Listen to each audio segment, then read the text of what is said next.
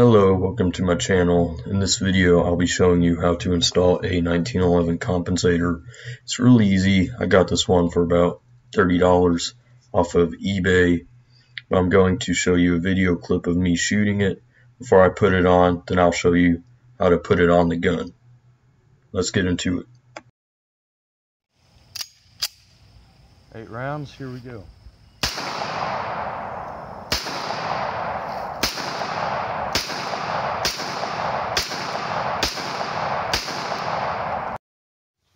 Okay, so what you do to install the compensator, first you make sure it is unloaded. You take out the magazine, pull the slide back, make sure there is no round in the chamber, verify it, point and fire in a safe direction. Now, you press down on the uh, spring cap, that's what it's called, forgot what it's called. And then you rotate your bushing counterclockwise, move the spring out of the way, then you pull out. Okay.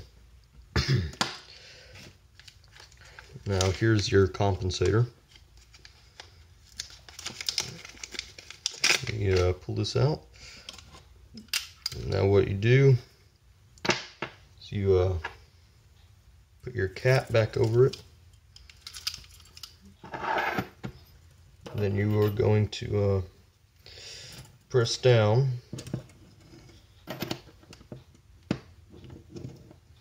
Slide that in there. Have it kind of turned at an angle about right there where you can push it in. Rotate.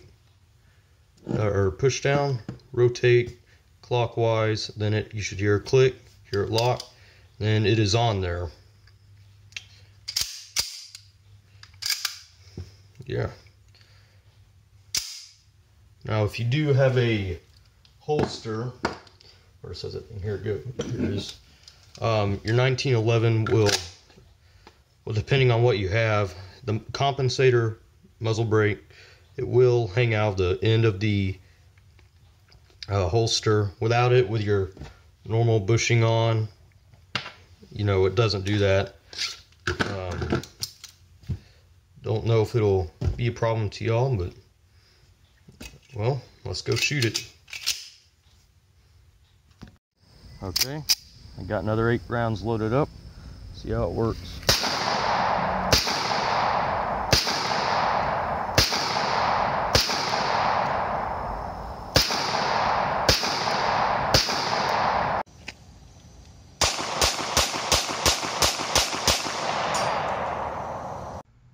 Now I could tell a difference in between having the compensator and not having the compensator. For example, this is a picture of me shooting the gun without the compensator on.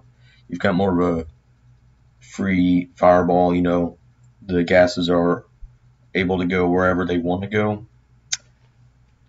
And then here's a picture of me shooting it with the compensator on. You can see the muzzle flash, you know, going out of the sides and the top of the compensator, you know, uh, where they're supposed to go in order to reduce the muzzle lift. And I could tell a difference um,